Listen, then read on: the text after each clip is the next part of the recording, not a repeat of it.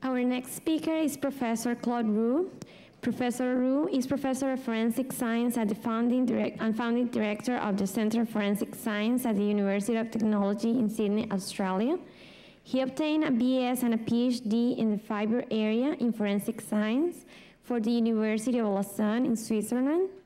He had 19 years of experience in providing forensic science expertise, training, and research.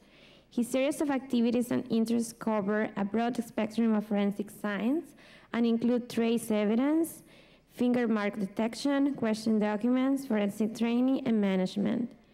He is vice president of the Australian and New Zealand Forensic Science Society, chair of the Australian and New Zealand Association of Forensic Science Educators and Researchers, and chair of the forthcoming International Symposium Forensic Science of the Australian and New Zealand Forensic Science Society that is going to be held in Sydney in September 2010 so I'm sure he's going to talk about it at, at the end, probably. Um, so his talk is uh, co constructing a database of color and pigment granule patterns for use in human hair identification. Thank you, Tatiana. Uh, good morning, everyone. Uh, first, I'd like to really thank uh, the organizers, NIJ, uh, the steering committee, for uh, organizing this fantastic symposium. I was there two years ago. Um, I really enjoyed it. I enjoyed it this, this week. And to continue what Susan Bennett did uh, yesterday about um, you know, a bit of publicity for the Australian Tourism Bureau, uh, I found Florida a bit like the Gold Coast in Australia, which is close to uh, my friend Gary Asmussen here. Um, but it's a bit the Gold Coast on steroid. So if you want a midget version of Florida, I really advise you and suggest you could come to visit the Gold Coast in Australia, but it's assuming you fancy a 28-hour flight. Um, let's move on. This may be a bit of warning. Uh, I'm not going to give you uh, some guidelines for Daubert hearing. We don't have Daubert uh, hearings in, in Australia. Um, I'm not suggesting or presenting a magic bullet that will solve all the problems of, of hair examination in, in, forensic science or even uh, trace evidence in general. Um, but it's just some, a, a promising approach, uh, in my views, um, that will help to develop some research, strategic research in, in the interpretation of hairs, and, and, maybe one day be used in, in, in casework. Um, I should acknowledge my co-authors, and, and probably the main one, who is Liz Brooks, um, this work, basically, Liz laid the foundation of this work through her master's project with the University of Canberra. She presented her results uh, at the IAFS meeting last year in New Orleans, so my apologies, some of the slides will, will come back. Uh, but uh, it's, uh, she's really the, the star of, the, of, of this project. Um, Lisa Masaki was a UTS student who uh, took part in this project.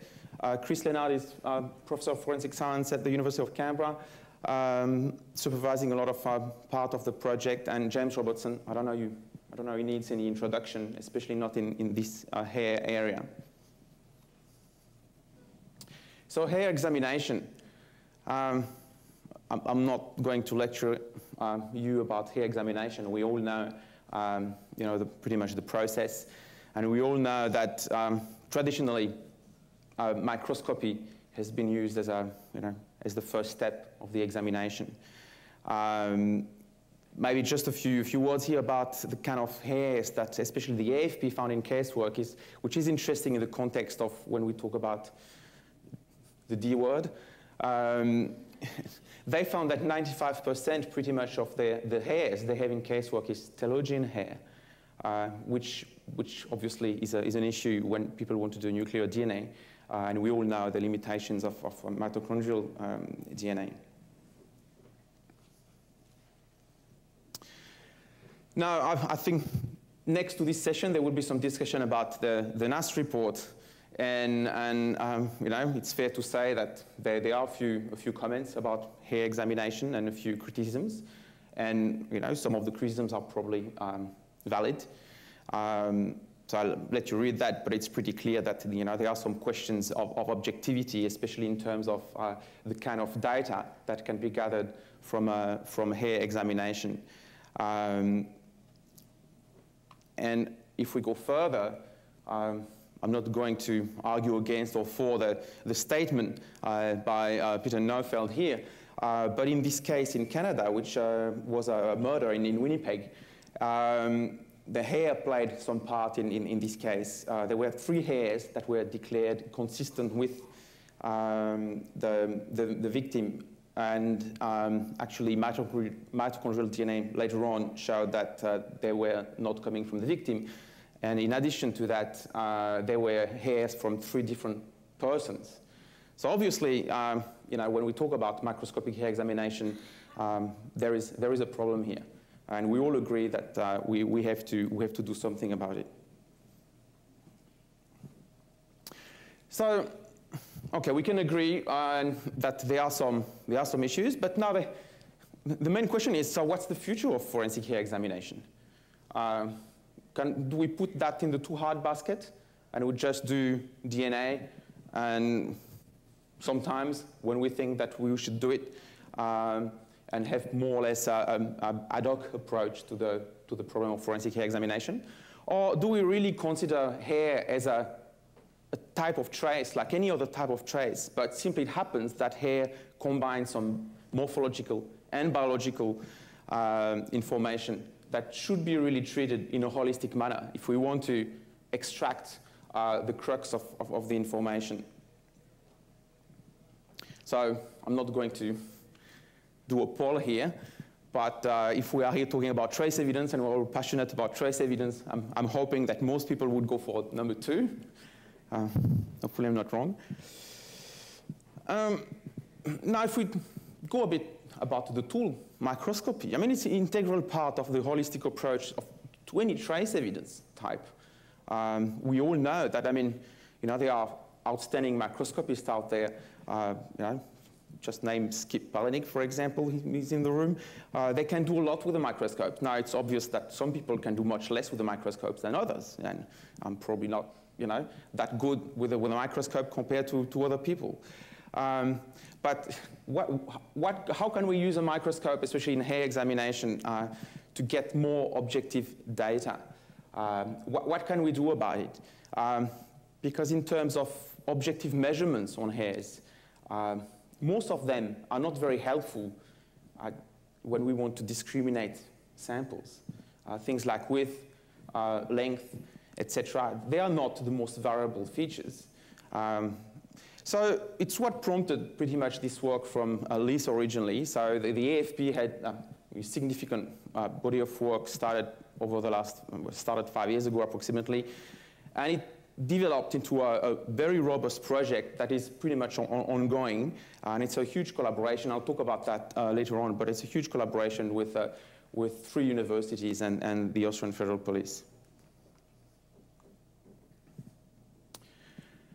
So here the idea is to try to get some um, objective and, and, possibly numerical values from microscopy hair examination. And Liz is a microscopist who came to the AFP from the CSIRO, which is a, um, a research, uh, government-funded research organization in Australia. Um, and the CSIRO, they used to use um, um, a software, a special software to do photo montaging, and it was in the area of forensic and uh, not forensic, sorry, entomology. Um, not everything is forensic. Uh, and the, the approach here, there are three elements. So one is to get very, very good quality uh, digital imaging and digital images from, um, from the hairs. And I'll go back to that. Um, then there is another element. Uh, try to analyze these images uh, and, and, try to extract some numerical data from the images. And then obviously to ana analyze uh, objective measures of the human hair features, uh, such as color and pigmentation uh, as a, as, as, a third step.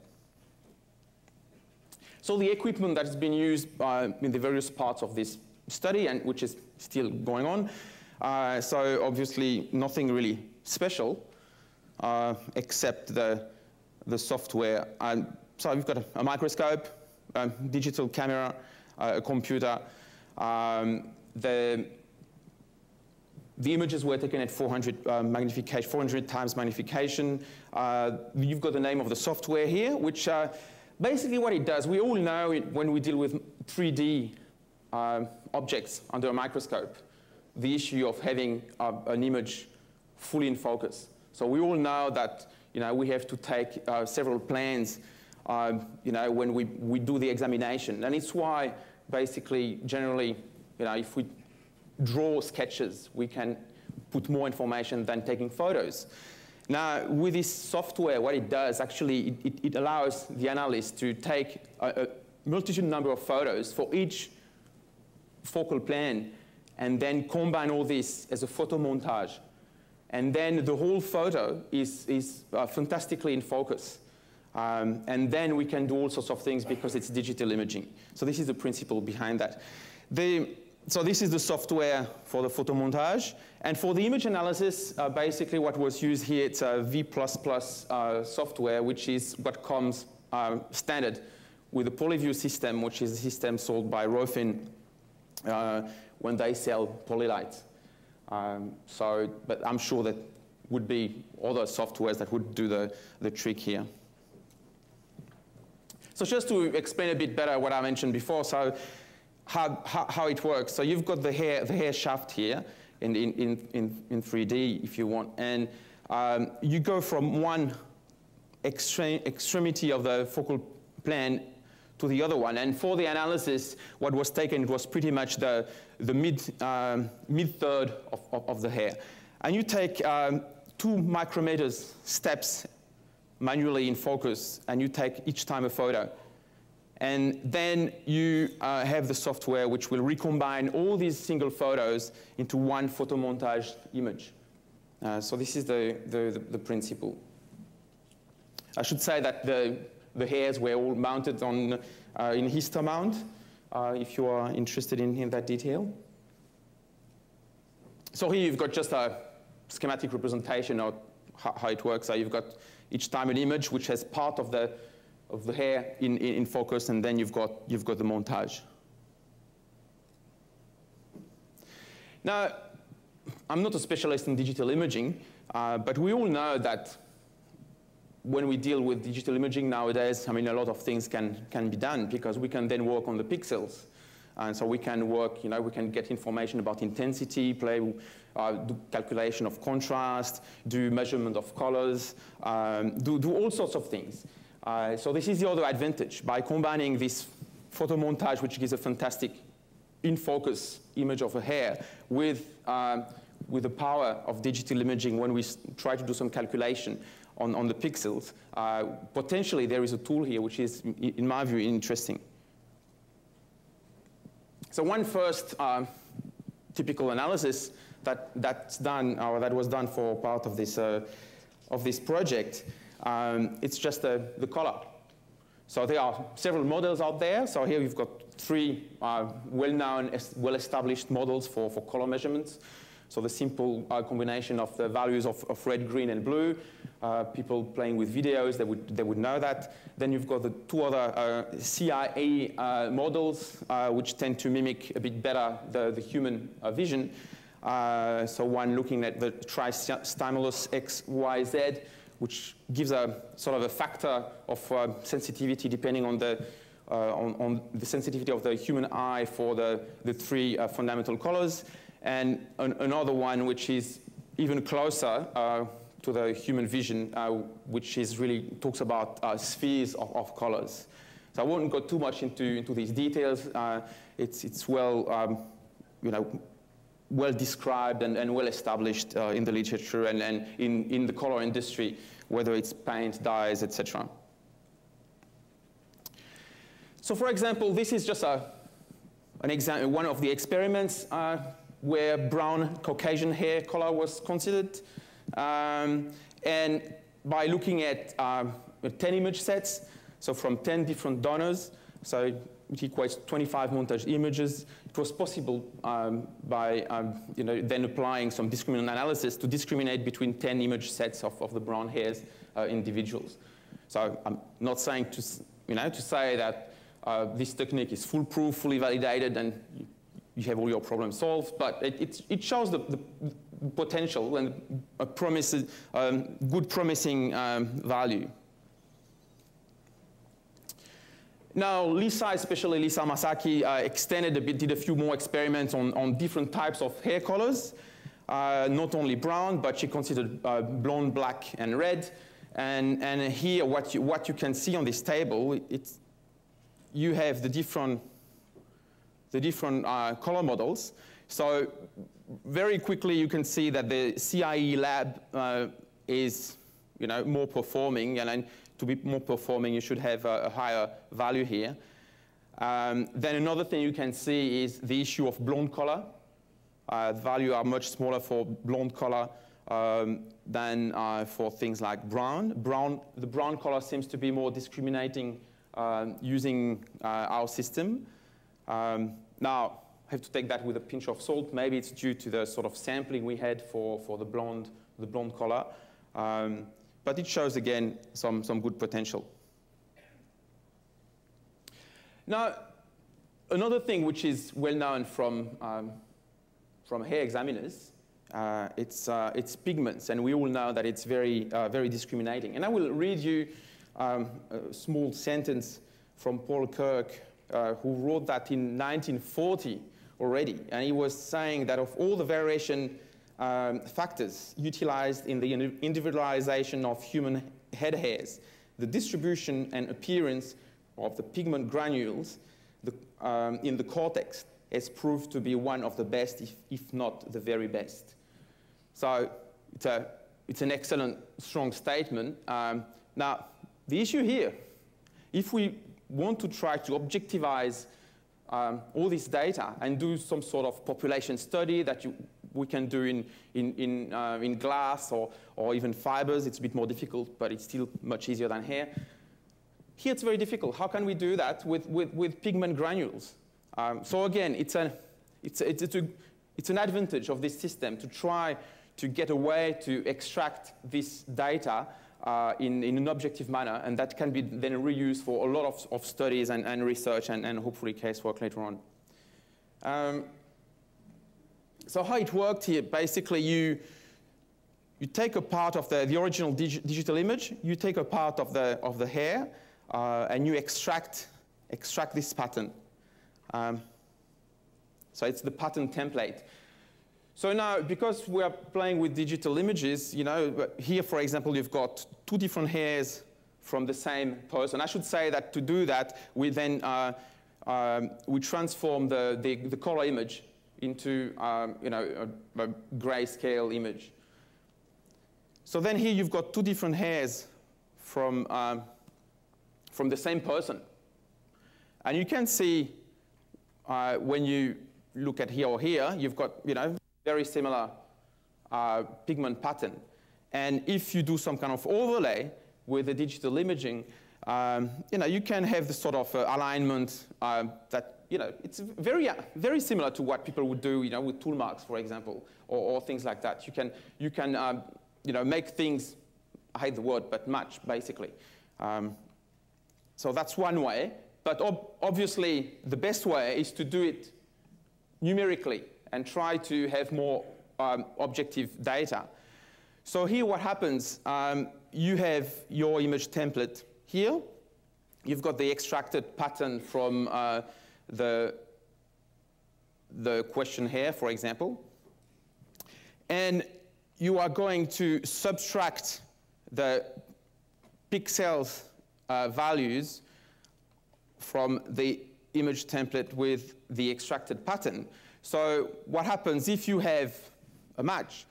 Your value should be close to zero. So the closer to you are to zero, the better match you have. Um, if you have a hair which is very different, then uh, it wouldn't give the same sort of value. You would have a value which is, because when you do the subtraction, you would have a value which is much higher. So it's a way to get some numerical data that we can use and, and play, play with for, um, for pattern, pigment pattern uh, examination.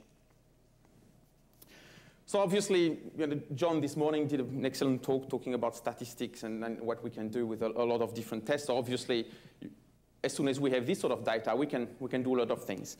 Uh, I won't go into the details here because I'm sure we didn't, a lot of other things could be done. But here, for example, uh, it's, a, it's a small experiment on blonde hairs where all these hairs are from this person, blonde number two. So, you know, you can see the closer you are to zero, the better the match. So for hair one, and so hair one should be the same, so to speak, or it comes from the same scalp as, as BD2. So you've got this value. Now, if you look at BD1, you can see that the value is much, much higher. So readily you can see that there, it should be discriminated. Now, if you look carefully, you can see that you've got BD6, which is uh, you know, even, even smaller than, than this one.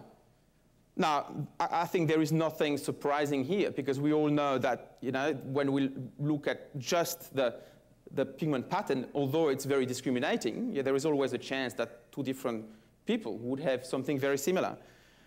So, and you, and you can see the variation, so within one scalp and, and, um, and the comparison of hairs coming from the same hair and versus hairs coming from different, different people. Um, one thing I should add here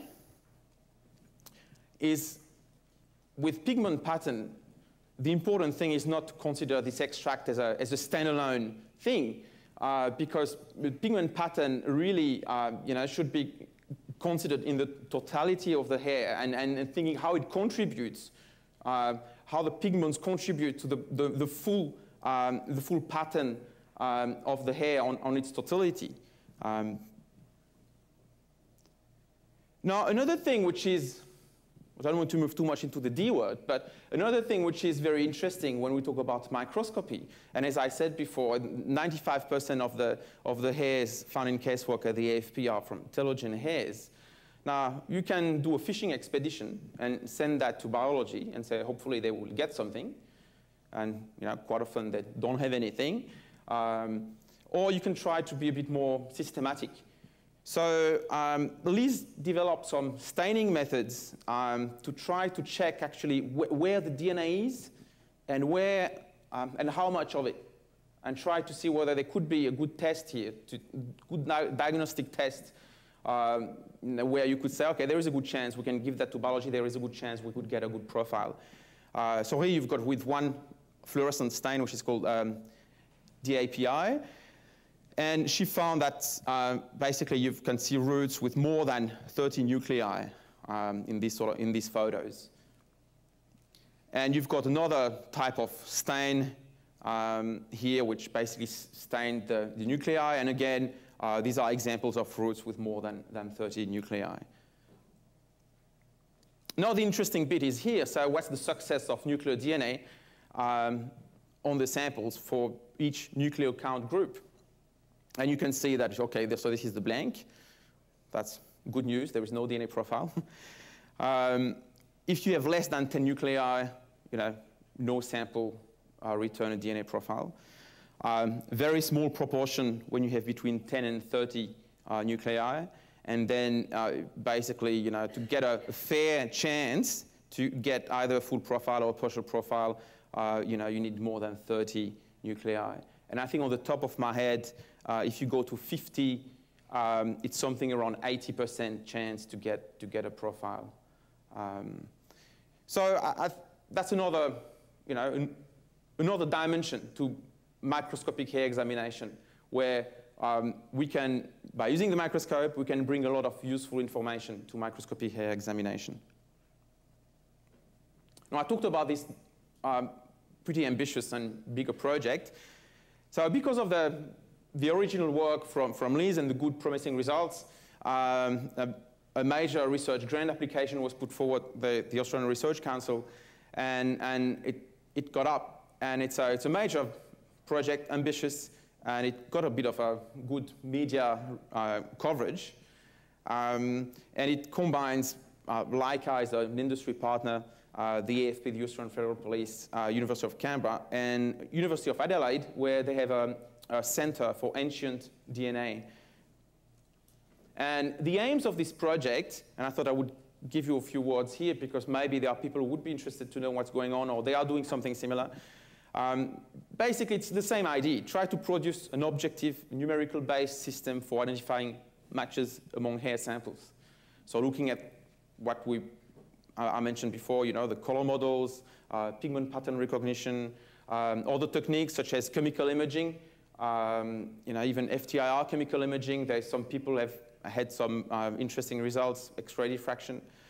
And to go on the DNA side, um, trying to continue this investigation about where the DNA is on telogen hairs, um, develop new methods, uh, trying to take some, um, some methods from ancient DNA uh, research and compare all the discrimination, all the discriminating power for, of these different approaches, and hopefully offer a new screening sequence and protocol for, for hair examination. So it's early days, it, it, it's just started, but I thought I would, I would mention that to you because it's pretty much a continuum from what I talked before.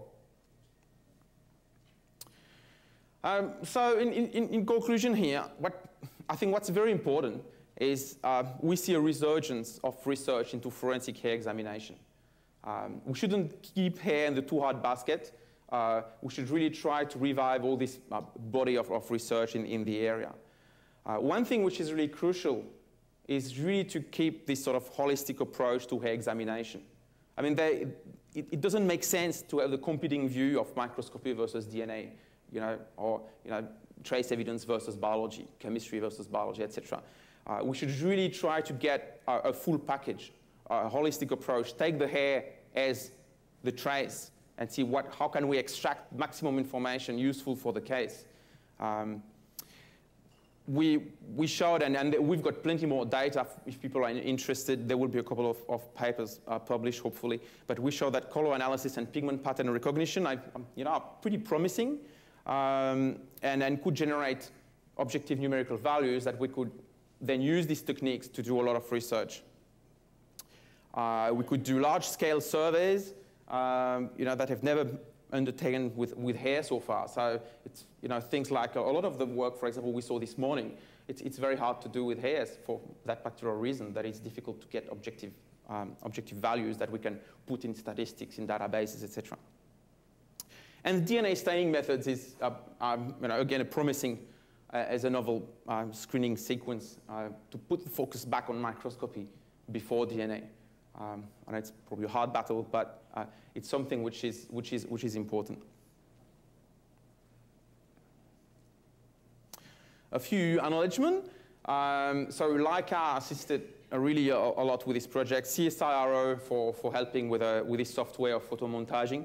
Uh, Bruce Comber from the Australian Federal Police, who is a, a fingerprint examiner, um, but uh, an extensive knowledge of the V++ software. So he helped a lot with the digital imaging side of it. Uh, Karen um, uh, McLaren, uh, she started a PhD um, at the University of Canberra. She's, she, she will be working on the, on the microscopy part of the, of the project. And Janet Edson from University of Adelaide, she will work on, on the DNA part of the project. And obviously all volunteers who gave hairs.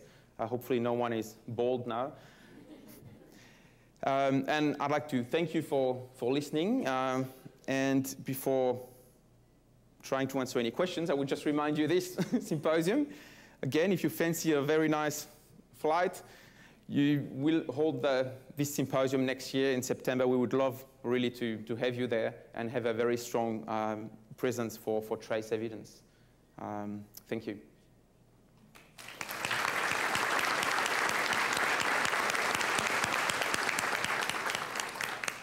Questions?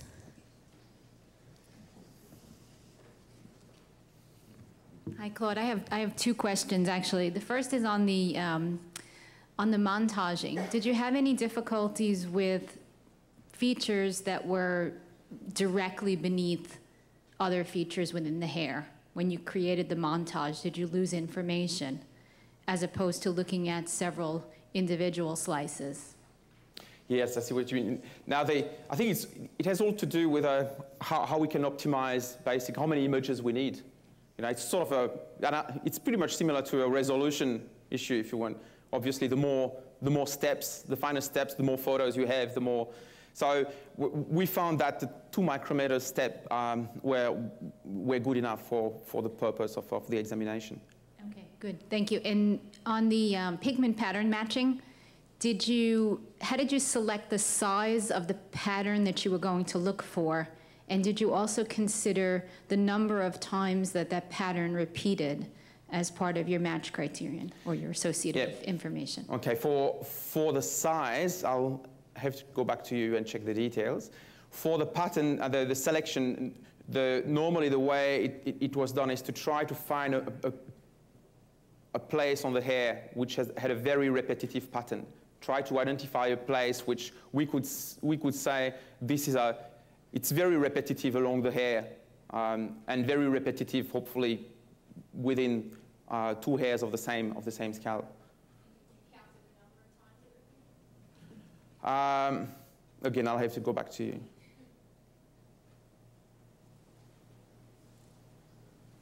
Good, let's thank again our panel for such a good work.